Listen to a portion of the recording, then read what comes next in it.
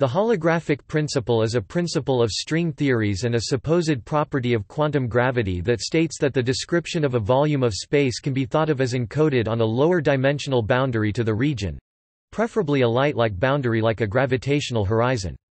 First proposed by Gerard 't Hooft, it was given a precise string theory interpretation by Leonard Susskind who combined his ideas with previous ones of 't Hooft and Charles Thorn.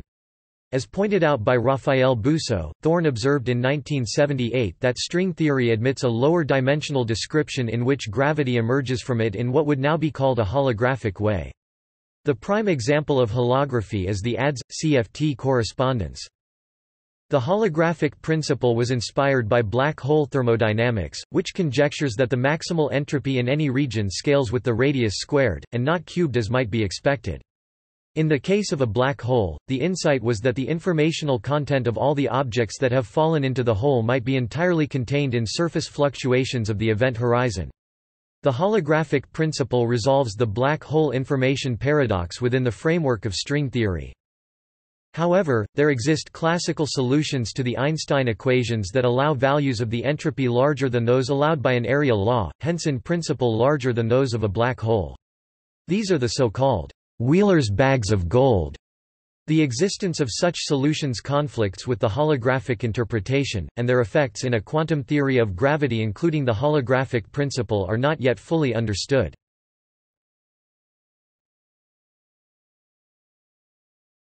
The ADS-CFT correspondence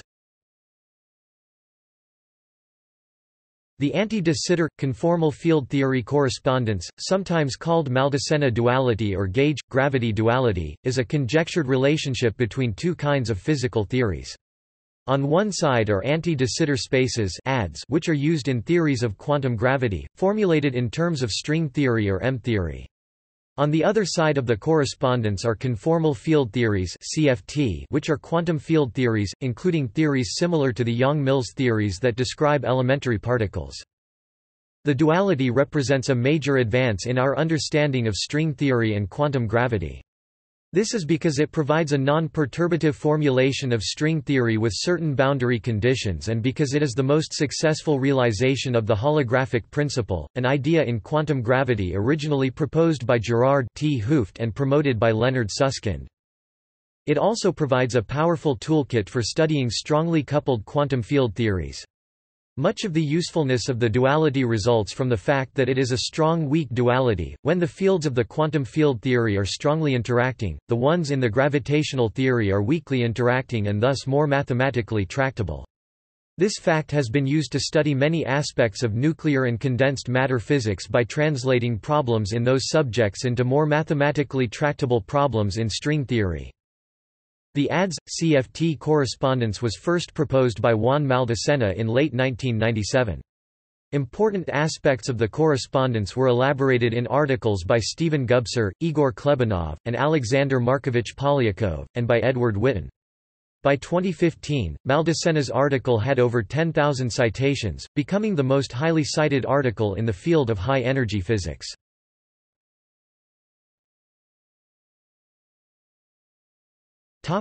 Black hole entropy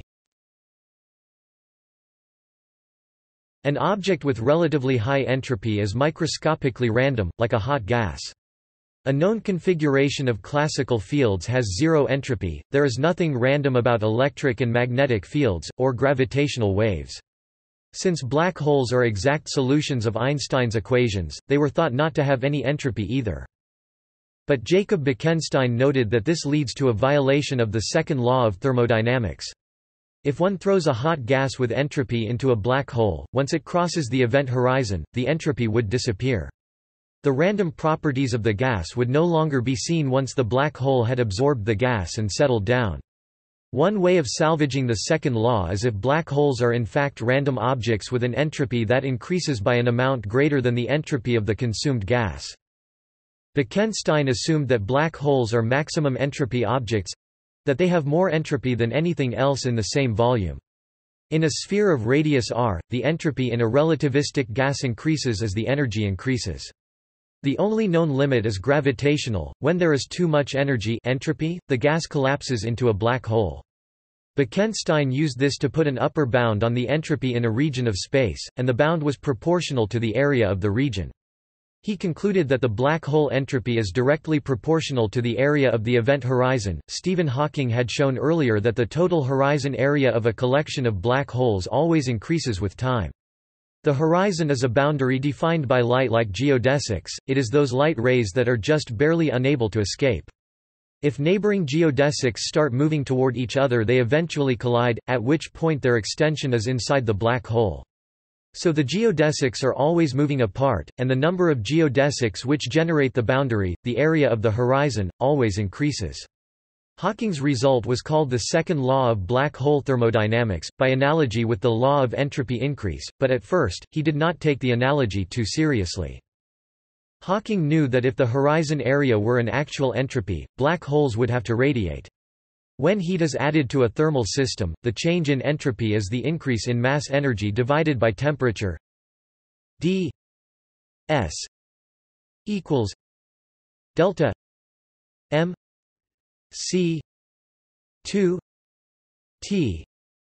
Display style erm d s equals frac erm delta m c caret 2 t here the term delta mc2 is substituted for the thermal energy added to the system, generally by non-integrable random processes, in contrast to ds, which is a function of a few state variables only, i.e. in conventional thermodynamics only of the Kelvin temperature T and a few additional state variables as, e.g., the pressure. If black holes have a finite entropy, they should also have a finite temperature. In particular, they would come to equilibrium with a thermal gas of photons. This means that black holes would not only absorb photons, but they would also have to emit them in the right amount to maintain detailed balance.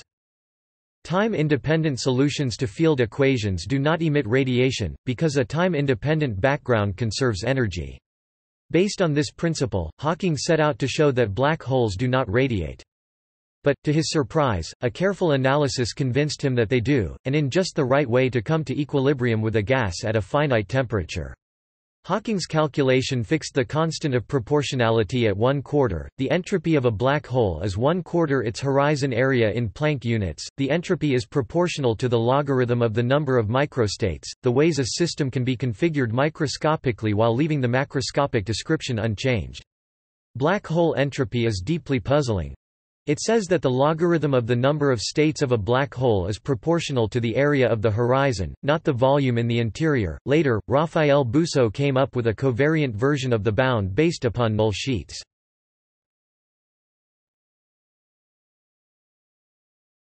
Topic: Black hole information paradox. Hawking's calculation suggested that the radiation which black holes emit is not related in any way to the matter that they absorb. The outgoing light rays start exactly at the edge of the black hole and spend a long time near the horizon, while the infalling matter only reaches the horizon much later. The infalling and outgoing mass, energy interact only when they cross. It is implausible that the outgoing state would be completely determined by some tiny residual scattering. Hawking interpreted this to mean that when black holes absorb some photons in a pure state described by a wave function, they re-emit new photons in a thermal mixed state described by a density matrix. This would mean that quantum mechanics would have to be modified because, in quantum mechanics, states which are superpositions with probability amplitudes never become states which are probabilistic mixtures of different possibilities. Troubled by this paradox, Gerard 't Hooft analyzed the emission of Hawking radiation in more detail. He noted that when Hawking radiation escapes, there is a way in which incoming particles can modify the outgoing particles. Their gravitational field would deform the horizon of the black hole, and the deformed horizon could produce different outgoing particles than the undeformed horizon. When a particle falls into a black hole, it is boosted relative to an outside observer, and its gravitational field assumes a universal form. 't Hooft showed that this field makes a logarithmic tent-pole-shaped bump on the horizon of a black hole, and like a shadow, the bump is an alternative description of the particle's location and mass. For a four-dimensional spherical uncharged black hole, the deformation of the horizon is similar to the type of deformation which describes the emission and absorption of particles on a string theory world sheet. Since the deformations on the surface are the only imprint of the incoming particle, and since these deformations would have to completely determine the outgoing particles, 't Hooft believed that the correct description of the black hole would be by some form of string theory. This idea was made more precise by Leonard Susskind, who had also been developing holography, largely independently. Susskind argued that the oscillation of the horizon of a black hole is a complete description of both the infalling and outgoing matter, because the world sheet theory of string theory was just such a holographic description. While short strings have zero entropy, he could identify long highly excited string states with ordinary black holes. This was a deep advance because it revealed that strings have a classical interpretation in terms of black holes. This work showed that the black hole information paradox is resolved when quantum gravity is described in an unusual string-theoretic way assuming the string-theoretical description is complete, unambiguous and non-redundant. The spacetime in quantum gravity would emerge as an effective description of the theory of oscillations of a lower dimensional black hole horizon, and suggest that any black hole with appropriate properties, not just strings, would serve as a basis for a description of string theory. In 1995, Susskind, along with collaborators Tom Banks, Willy Fischler, and Stephen Shenker, presented a formulation of the new M-theory using a holographic description in terms of charged point black holes, the d-zero branes of type IIA string theory.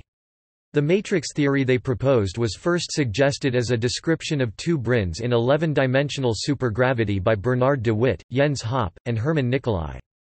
The later authors reinterpreted the same matrix models as a description of the dynamics of point black holes in particular limits. Holography allowed them to conclude that the dynamics of these black holes give a complete non-perturbative formulation of M-theory. In 1997, Juan Maldacena gave the first holographic descriptions of a higher dimensional object, the 3 plus 1 dimensional type IIB membrane, which resolved a long-standing problem of finding a string description which describes a gauge theory. These developments simultaneously explained how string theory is related to some forms of supersymmetric quantum field theories.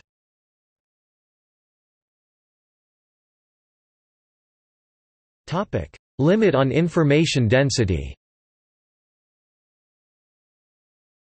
Entropy, if considered as information see information entropy, is measured in bits. The total quantity of bits is related to the total degrees of freedom of matter, energy. For a given energy in a given volume, there is an upper limit to the density of information the Bekenstein bound about the whereabouts of all the particles which compose matter in that volume, suggesting that matter itself cannot be subdivided infinitely many times and there must be an ultimate level of fundamental particles. As the degrees of freedom of a particle are the product of all the degrees of freedom of its sub-particles, were a particle to have infinite subdivisions into lower-level particles, the degrees of freedom of the original particle would be infinite, violating the maximal limit of entropy density. The holographic principle thus implies that the subdivisions must stop at some level, and that the fundamental particle is a bit 1 or 0 of information.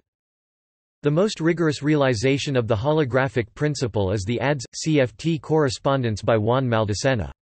However, J.D. Brown and Marc Henneaux had rigorously proved already in 1986, that the asymptotic symmetry of 2 plus 1 dimensional gravity gives rise to a Virasoro algebra, whose corresponding quantum theory is a two-dimensional conformal field theory.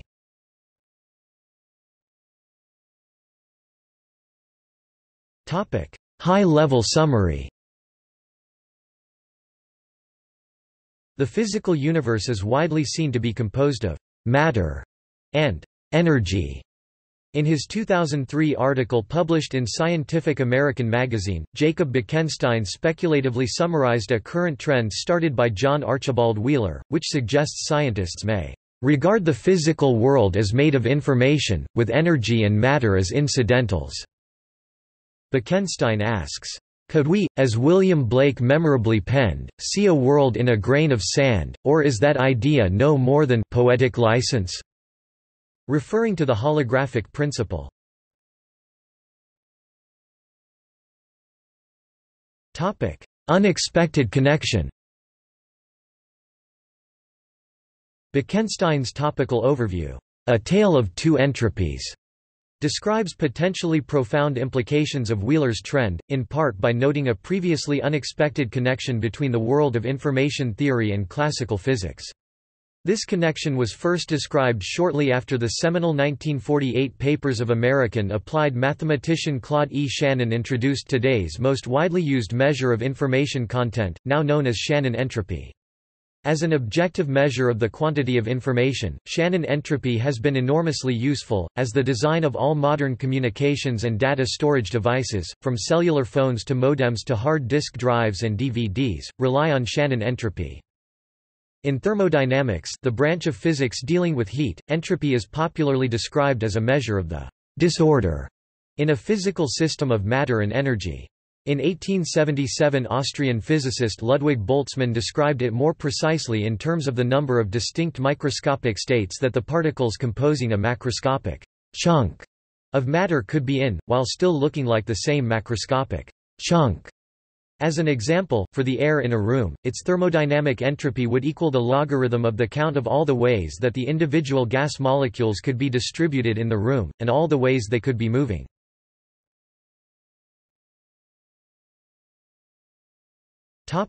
Energy, matter, and information equivalence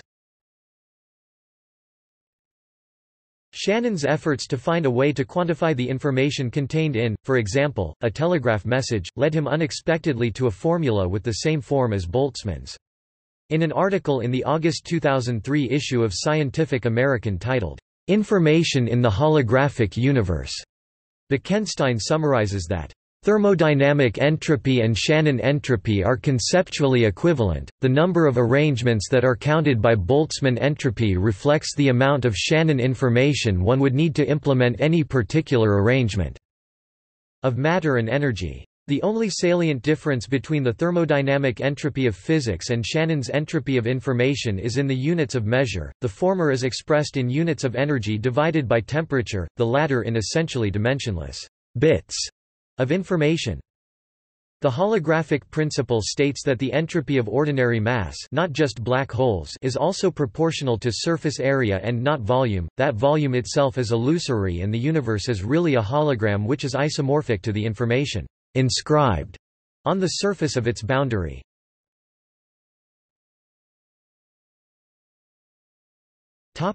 Experimental tests The Fermilab physicist Craig Hogan claims that the holographic principle would imply quantum fluctuations in spatial position that would lead to apparent background noise or holographic noise, measurable at gravitational wave detectors, in particular GEO 600.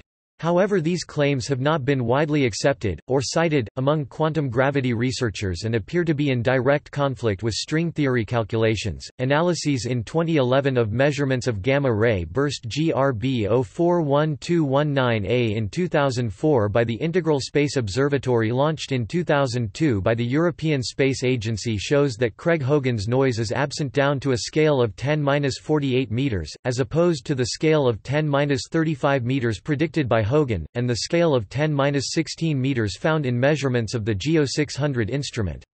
Research continues at Fermilab under Hogan as of 2013. Jacob Bekenstein also claimed to have found a way to test the holographic principle with a tabletop photon experiment.